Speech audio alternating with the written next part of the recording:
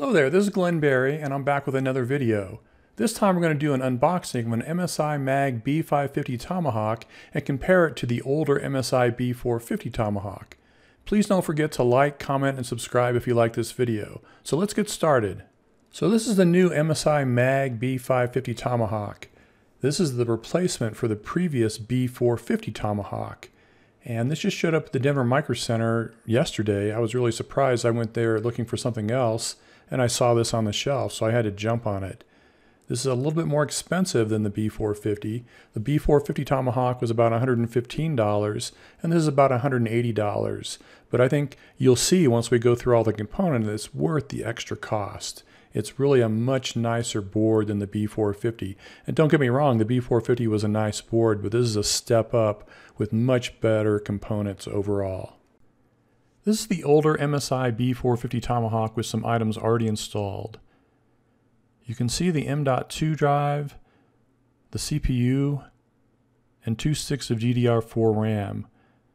We have one PCIe 3.0 x16 slot that connects to the CPU, along with three PCIe 2.0 x1 slots and one PCIe 2.0 x16 slot that connect to the B450 chipset.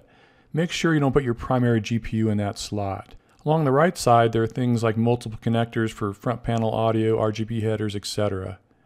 There are four more SATA 3 ports on this edge. The two SATA ports at the right are the ones that get disabled if you use that M.2 slot. Looking at the rear I.O. ports, there's a BIOS flashback port, two USB 2.0 ports, a PS2 combo port, and then we've got a DVI-D and an HDMI port. We have three more USB Type A ports in various levels, a gigabit LAN, a USB-C port, and finally the audio ports. This is the new, much improved MSI Mag B550 Tomahawk motherboard.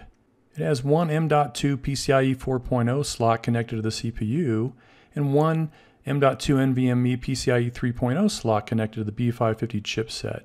Both of them have heat sinks. We have one PCIe 4.0 X16 slot connected to the CPU and then one PCIe 3.0x16 slot connected to the B550 chipset. There's also two PCIe 3.0 X1 slots. Along the right edge, we have a front panel audio, an RGB header, a sysfan header, a clear CMOS jumper, an LED switch, another sysfan header, and various USB ports and the front panel connectors. At the top, we've got six SATA 3 ports and a USB 3.2 Gen 1 Type C connector, we also have four more fan connectors and an RGB header. One nice feature you get with a B550 chipset and how it's used on this motherboard is you can use both M.2 slots and all six SATA ports with no conflicts. Looking at the rear panel connectors, we've got a flash BIOS button, two USB 2.0 ports, and a PS2 combo port. And then we have an HDMI port and a display port that are only used with integrated video. There are two USB 3.2 Gen 1 Type A ports a 2.5 gig Realtek LAN port. Next is a 1 gig Realtek LAN port and one USB 3.2 Gen 2 Type A port, and then one USB 3.2 Gen 2 Type C port. Finally, we have the audio ports, including an S/PDIF out port for digital audio. Now let's take a look at what's in the box. First, we have three M.2 screws. This is nice since we get one extra in case you lose one. Next we have a quick installation guide. This guide is pretty detailed and it's in multiple languages. It includes how to install the CPU and various stock CPU coolers, and also how to install your RAM. Next it shows how to install the front panel connectors, how to install the motherboard, and then the graphics card,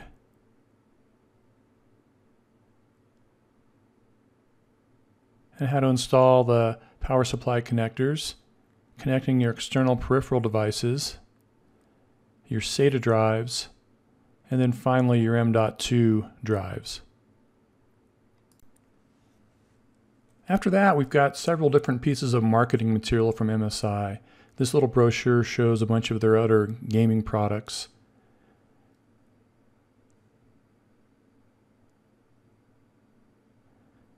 Then we've got more marketing materials from MSI.